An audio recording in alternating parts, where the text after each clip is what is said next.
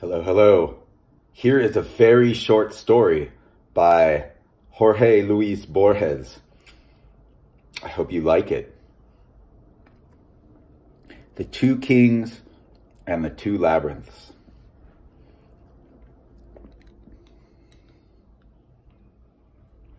It is said by men worthy of belief, though Allah's knowledge is greater that in the first days there was a king of the Isles of Babylonia who called together his architects and his priests and bade them build him a labyrinth so confused and so subtle that the most prudent men would not venture to enter it, and those who did would lose their way. Most unseemly was the edifice that resulted, for it is the prerogative of God, not man, to, to strike confusion and inspire wonder.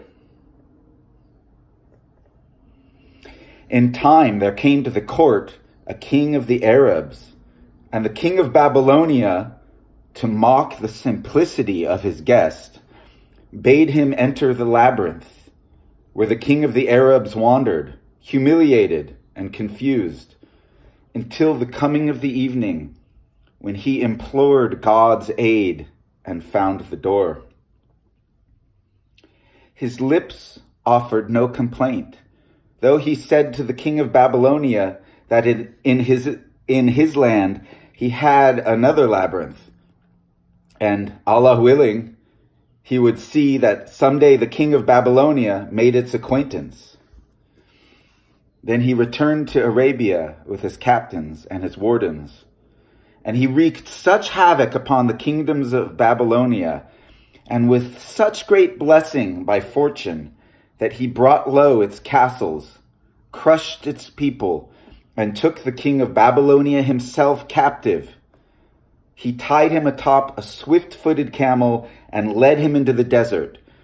Three days they rode, and then he said to him, O king of time and substance, and cipher of the century. In Babylonia didst thou attempt to make me lose my way in a labyrinth of brass with many stairways, doors, and walls.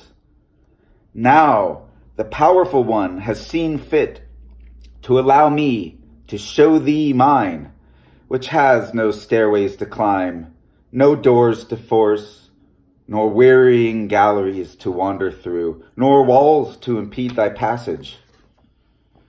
Then he untied the bonds of the king of Babylonia and abandoned him in the middle of the desert, where he died of hunger and thirst.